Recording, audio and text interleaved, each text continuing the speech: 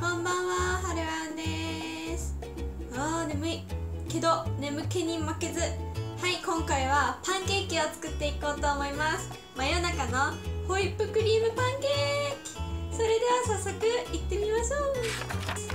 まずはもうボウルにねどんどん計量をしてうんと混ぜていくだけの簡単なパンケーキです。なんだけどねすごくふわふわにできて美味しいんです。はいじゃあまずボウルに 150g 薄力粉。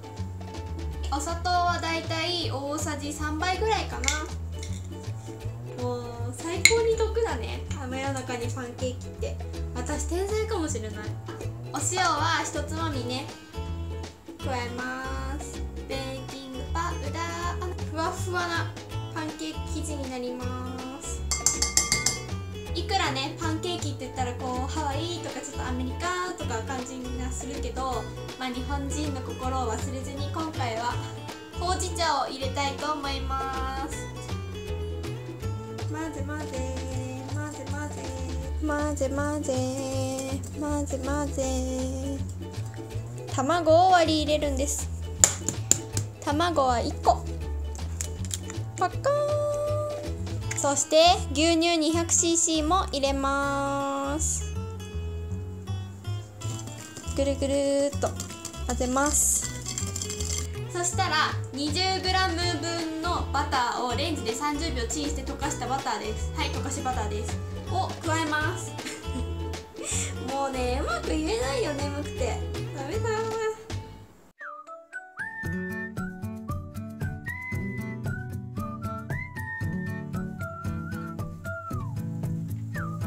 あいい感じ。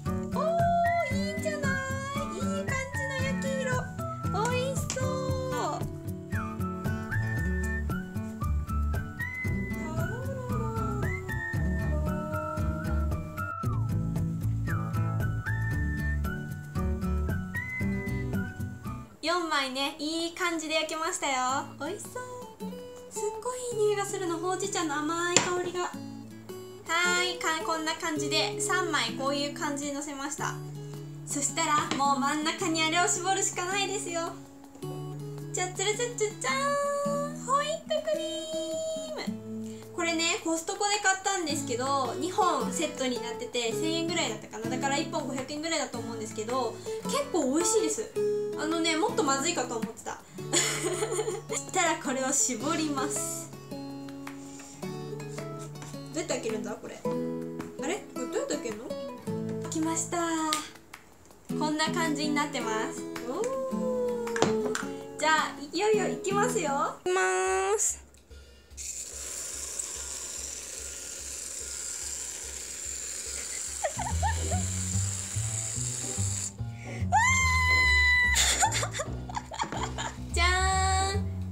てにしては上出来じゃないですか。あちょっといいすごい。そしたらそしたらそしたら今回はキャラメルシロップをかけようと思います。あのほうじ茶にはキャラメルが合うんですよ。だからキャラメルかけます。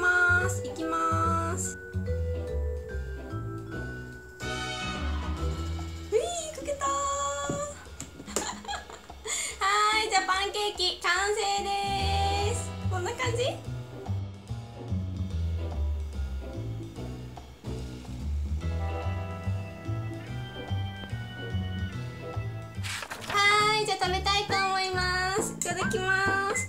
もうねホイップクリームが熱でこう溶けてきちゃってるんですよ。最初のようにねこう高くタワーにはなってないのも。だけどまあ絶対美味しいからね食べたいと思います。パンケーキふわふわです。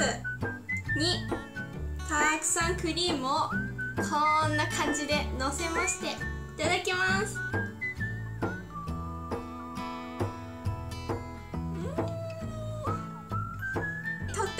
く楽しかった。いやー美味しかった。楽しかったの嵐です。あのクリームをこう高くするのすごい初めてやったんですけどなかなか難しいけど楽しかったですすごく。で、ね、食べたらもうびっくり。パンケーキはふわシュワーって感じであの生クリームはスッとあっさりしてるからなんていうのかな。全部口の中でファーッと溶ける感じがたまらないです。でキャラメルソースがねいい感じで甘くしてくれても最高に美味しかったです。まあたまには真夜中に甘いものもいいかななんて思ってやってみました。